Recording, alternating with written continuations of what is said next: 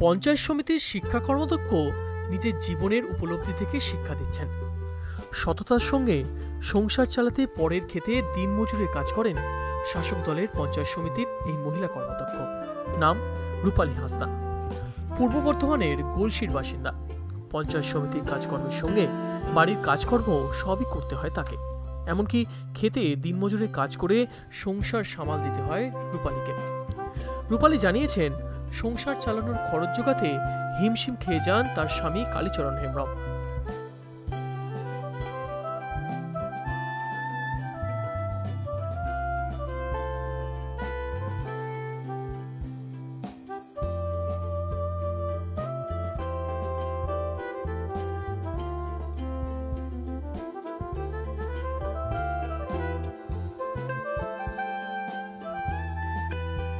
স্বামী ভিন রাজ্যে শ্রমিকের কাজ করেন।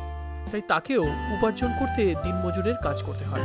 তিনিও মাঠে রোপণ নিড়েন এবং ধান কাটার সবই কাজ করেন। তারপর পরের খেতে দিনমজুরও খাটেন। আর মমতা বন্দ্যোপাধ্যায়কে দেখে রাজনীতিতে এসেছেন বলেও জানান তিনি। এলাকার বাসিন্দারা বলেন, আমাদের সমাজে এখনও বহু ভালো মানুষ আছেন। রাজনীতি করা মানেই যে সবাই টাকা ইনকাম করতে চান, এমনটা নয়। গোলসির দু নম্বর পঞ্চায়েত সমিতির সদস্যা রূপালী হাসদা তারই একটা উদাহরণ।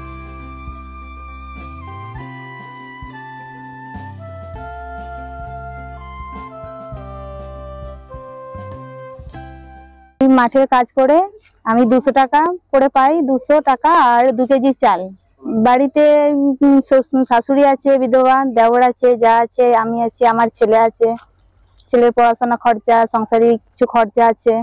এইসব কর- করতেই আমাকে মাঠে কাজ করতে হয়।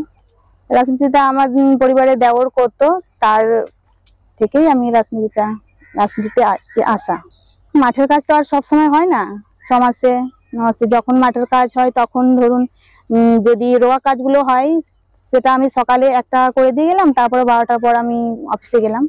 এইভাবে করি।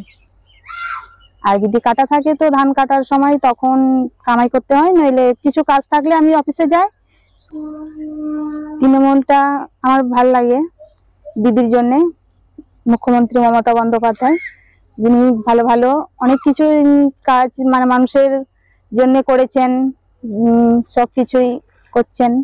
তার ভালো লাগাতেই আমি রাজনীতিতে, মমতা বন্দ্যোপাধ্যায় রাজনীতিতে বেঁচেছি।